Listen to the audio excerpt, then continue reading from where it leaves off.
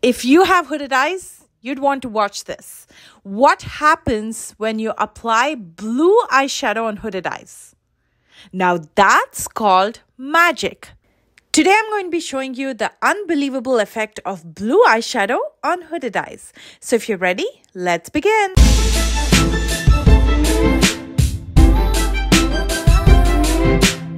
Let's quickly fill in the brows. I'm using a brown eyeshadow to go over the lower part of the brows with an angled brush. This is from the new Nudes collection from Real Techniques. Using the Milani concealer in the shade 145, which is warm beige, I'm going to quickly clean up on my lid and under the brows.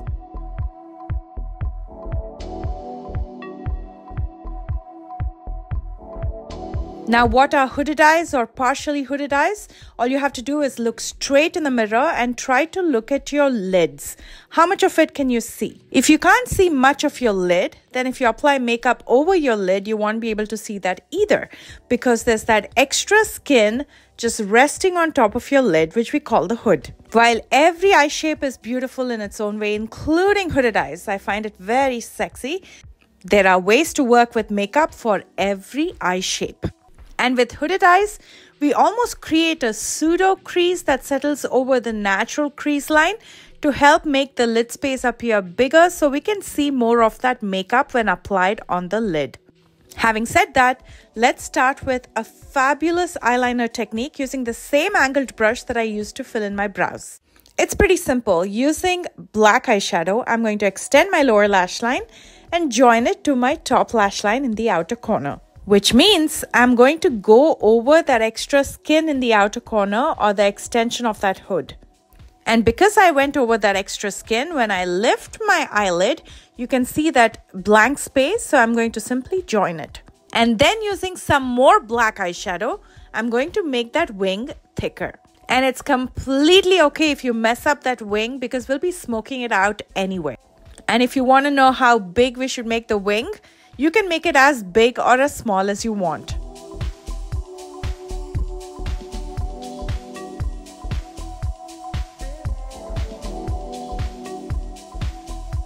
Next, I'm taking a small smudging brush and I'm going to smudge this wing out. It helps to smudge before you smoke it because smudging will ease out some of that eyeshadow by applying tension and then you can use a larger blending brush to smoke it out. A fine tip that I've learned with hooded eyes is to use a black eyeshadow to outline your eyeliner before you go with the eyeliner itself because eyeshadows are softer and more forgiving. Now I'm using a blending brush to smoke this out and make it even more softer.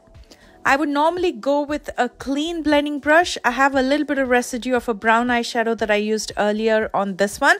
It's okay, you can do that as well. You can use a little bit of brown eyeshadow and blend it out with the black and that'll give you a beautiful ombre of black and brown. If you just want black eyeshadow, use a clean brush. And if you feel like the eyeshadow is not intense enough, you can add a little bit more eyeshadow and layer up till you're happy with the intensity. I like to begin softer. Now because that eyeliner is smoked out, it's not interfering with the fold of the hood, so it doesn't look distorted. Now is when I start building up the intensity. So I'm taking a little bit more of that black eyeshadow with the same angled brush and I'm going to use it in the very outer corner of both my upper as well as lower lash lines. And then I'm going to lightly smudge it so it blends in with the smoked out black eyeshadow seamlessly. So that'll give you a liner that's darkest at the lash line and as it moves upward and outward onto your hood, it'll become lighter and lighter so it won't interfere with the fold of the hood and it'll slowly melt into your skin tone. And now for the third and final time, I'm taking more of that black eyeshadow. With the angled brush, I'm going to use it in the very outer corner of my upper and lower lash lines. But this time, the difference is I'm not going to smudge it out. Now that'll give you an eyeliner that's extremely forgiving on hooded eyes. Let me show you what a normal eyeliner can look like on hooded eyes because it interferes with the fold of the hood. This is how it looks. It looks distorted. And this is how our eyeliner is looking right now. And yes, you can use a black eye pencil in your waterline even if you have hooded eyes. I'm using the Aqua Resist pencil by Make Up For Ever. Next, I'm going to be using a blue eyeshadow from the So Jaded palette. This is from Colourpop and it has some lovely colors in here. I'm going to be using this deep blue shade called Sapphire. You see how it is deep, but it's not black. It's a blue. I'm going to simply apply it throughout my lower lash line with another angled brush. They call navy blue the new black. If you look at any runway shows in the near past, people have used more blue eyeliners than black. That's because that pop of color draws attention. Blue, especially, is vibrant and eye catching and it makes your eye color stand out. When I say eye color, I mean any eye color, including blue eyes. And you can see how that brown in my eyes suddenly popped. And that all of a sudden takes away the focus from the hood on the lids. And for that reason, this can be especially flattering on hooded eyes. To add to this look, I'm going to be using a stunning baby blue pressed glitter on my lids. This is called Opal and you don't need an adhesive. You can go directly with the glitter because it's pressed glitter. So you just press it on your lids like eyeshadow. And then using Pearl, I'm going to highlight my inner corner and brow bone. So I'm going to use it as a pop of highlight. Time to finish up. So I'm going to first curl my lashes. And for mascara, I'm going to be using the Lancome Lash Idol. Um, is that how you say it? I Idol. Mascara helps with lifting and volumizing and lengthening. And because it has that curved wand, it also helps with curling your lashes. I'm not going to be using false lashes. You can if you want to, but if you do, try to use something that wings out and doesn't cover up your lid space. And here is the finished eye look. See those browns in my eyes pop.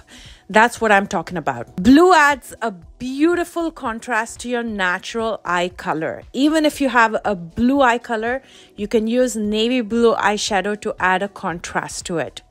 On another note, blue eyeshadow can create the illusion of a larger and more open eye area. So if you have hooded eyes, I would urge you to try the style and let me know how it worked out for you. I'll wait to hear from you in the comment section and all you need is a little bit of blue eyeshadow and a little bit of skill. Speaking about skills, let me introduce you to Skillshare. It's an online learning community worth exploring. Have you ever desired to learn something unique or fascinating? Well, now you can by enrolling in online classes at Skillshare.com where skilled instructors just like myself offer a variety of courses. I recently uploaded a masterclass on the fundamentals of special effects makeup just in time for the spooky season. So what are you waiting for because Skillshare offers a wide array of online courses everything from painting to photography and there's something unique and special for everyone. Those links are listed in the description box and the first thousand of you who click on that that link to register will receive an entire month of free access. And I've also included a link to my special effects masterclass where I teach you everything from professional face painting to making prosthetics from scratch with stuff available in your house. And now, let's get back to the tutorial. To finish up this look, I'm going to be using the Beautiful Skin Bronzer by Charlotte Tilbury, just adding some warmth and dimension to this look. So I'm mostly going to be using it in the circumference of my face. That brings everything together. It'll highlight the center part of your face and it'll add that dimension, giving a nice chiseled look and a nice frame to your face. For blush, I'm going to be using the Mini Mix palette. This is the Glam with Suzanne blush palette by Ofra Cosmetics. And I'm going to be using the shade Punch.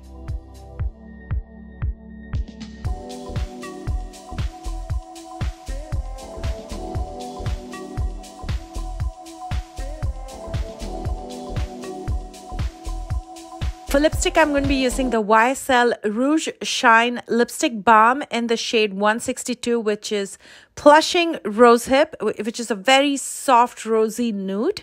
But before that, I'm going to use a nude shade of brow pencil as my lip liner, which I always use. This is from Colourpop.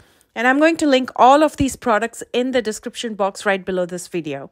And I absolutely love the YSL lipstick balm. It is so stunning. It's subtle but stunning. Precisely the kind of lipstick I love and prefer. As you know, I have very thin lips. I don't have any fillers or anything. This lipstick plumps up your lips. That's what I absolutely love. And here is the finished look. I hope you enjoyed this video. If you did, please don't forget to thumbs up. And if you're new here, please consider subscribing. And if you try this look, please don't forget to tag me. My socials are listed in the description box just below the video. I love you guys so much and I will see you soon with a brand new one. Bye guys.